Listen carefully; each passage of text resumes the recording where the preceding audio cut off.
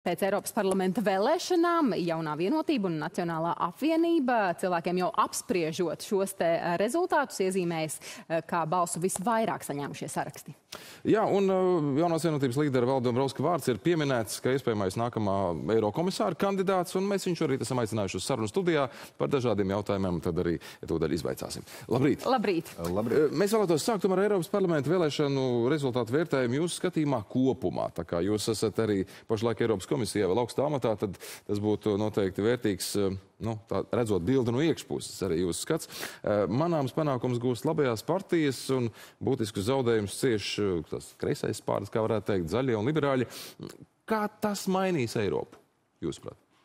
Jā, nu, vispirms es tomēr gribētu pateikt paldies visiem vēlētājiem, kas balsoja un atbalstīja jauno vienotību, un kā rezultātā jaunā vienotība arī uzvarēja Eiropa parlamenta vēlēšanās.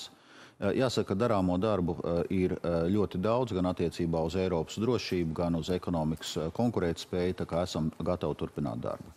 Skatoties uz situāciju Eiropas Savienībā kopumā, tomēr redzams, ka centriskie, proeiropiskie spēki ir saglabājuši vairākumu Eiropas parlamentā. Arī Eiropas Tautas partija turpinās būt lielākā un ietekmīgākā politiskā grupa Eiropas parlamentā. Tad jūs sliektos piekrist tam, kā arī mēs ar profesoru Ozoliņu nu pat runājām, ka nekāda traģēdija šīs svārsta novirzīšanās nedaudz pa labi nav un ka, nu, patiesībā sakot, tikai jāizdara iespējams daži secinājumi Eiropas uh, lēmumu pieņēmiem kopumā par uh, dažādu lēmumu virzienu. Nu, skaidrs, nu, protams, ka jebkuras uh, vēlēšanas tas ir arī signāls no vēlētājiem par tiem politikas virzieniem, kas būtu vēlami, kā tālāk virzīties bet uh, Eiropas Savienība uh, arī arī ar nākamā parlamenta sasaukumu, es domāju, spēs sekmīgi strādāt un risināt tos izaicinājumus, kas Eiropai ir priekšā. Nebūs tad strīdos nogrimšana vairāk tagad, ņemot vērā šo, nu, it kā alternatīvi domājošā, nosacīt iepratim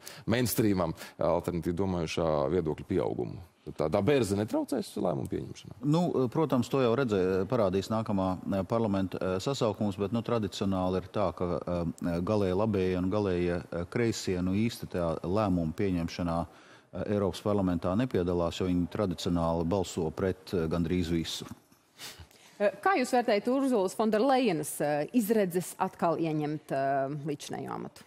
Eh, jā, es domāju, eh, šie vēlēšana rezultāti un Eiropas Tautas partijas uzvara eh, vēlēšanās nodrošina, ka šīs izredzes ir labas un jau tuvākajā laikā Eiropas Savienības līderis sāks par šo jautājumu diskutēt par Eiropas komisijas priekšsēdētāju kandidātu nomināciju. Tad par Latvijas rezultātiem runājot, jā, vēlētājiem paspējāt jau pateikt paldies eh, par jaunās vienotības panākumu. Jūs gan mazliet ātrāk jau par citiem man šķiet teicāt, ka jaunā vienotība varētu uzvarēt, eh, neskatoties uz to, ka šīs iepriekšējās aptaujas rādīja mazliet, mazliet citādāku ainu. Vai tas ir mazliet pārsteidzoši, vai tas ir gaidīti? Kā jūs vērtējat partijas sniegumu? Nu, eh, jaunā vienotība jau no paša sākuma bija izvirzījuši šo uzstādījumu uzvarēt Eiropas parlamenta vēlēšanās. Nu, tas ir tas, uz ko mēs eh, gājām.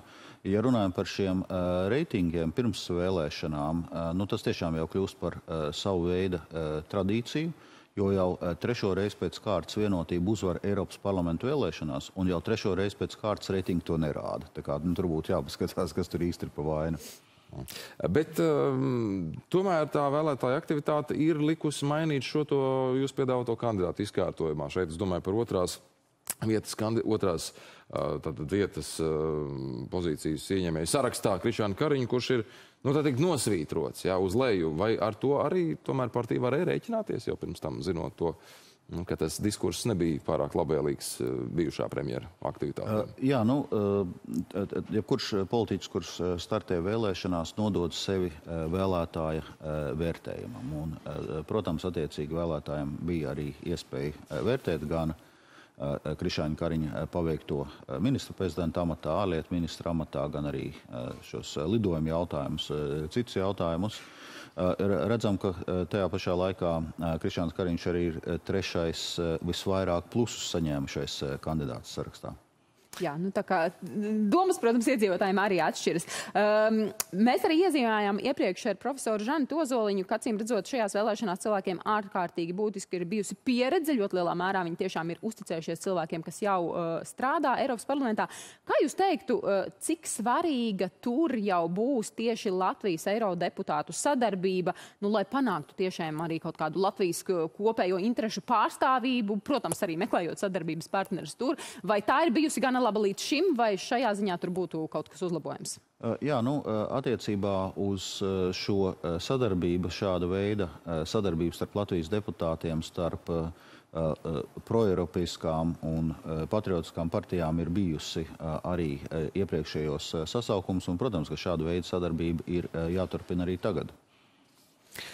Ja mēs runājam par šiem jaunajiem, arī, nu, kas iepratīm pieredzējušajiem ir ienākuši, tad nu, Rihards Kols, Reinis Pozņāks, Mārtiņš Staķis, Vils Krištapans, spektrs ide, ideoloģiski pārstāvētais, viņu diezgan raips iznāk tā. Vai tur tā um, nu, teiksim, politiskā orientācija nebūs tā, kas traucē tieši Latvijas deputātu grupai savstarpēji vairāk komunicēt, un tomēr no svara būs, kā jau dažkārt ir tieši piedarība politiskajām grupām, kur katrs šis deputāts būs. Nu, tieši tāpēc šī sadarbība starp Latvijas deputātiem arī ir svarīga, jo ir kādi, teiksim, Latvijai svarīgi jautājumi, tad nu, ļoti bieži ir tā, ka deputāti balso par šiem jautājumiem no dažādām politiskajām grupām, faktiski tas arī ļauj Latvijas deputātiem eh, meklēt sabiedroties eh, katram savā politiskajā grupā un šos Latvijai būtiskos jautājumus eh, izrunāt. Tas fakts, ka Latvijas deputāti potenciāli pārstāvēs dažādas politiskās grupas, pats par sevi nav traucēklis. Mm.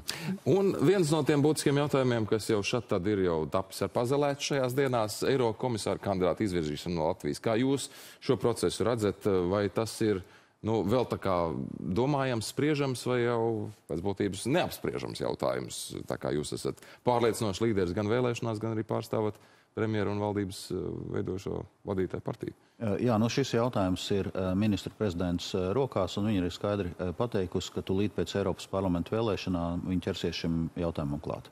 Jūs neredzat tur nekādu aizkulisku iespējamo kauliņu bīdīšanu fonā, kas var novest līdz tam, ka nu, varbūt jūs nemaz neizvirs beig beigās. Vai tomēr jūs esat droši pārliecināts, ka tam vajadzētu būt jums? Nu, eh, es no savas puses esmu paudzis gatavību šo darbu Eiropas komisijā eh, turpināt. Eh, es domāju, ka vēlēšana rezultāti tam dod arī politisko un demokrātisko leģitimitāti, bet šie praktiskie soļi, kā es teicu, ir ministra prezidents rokās. Paldies, protams, tiem arī sekosim. Paldies, ka šajā rītā atnācāt un lai veiksmīgs darba turpinājums. Jā, paldies. Paldies, paldies par sarunu.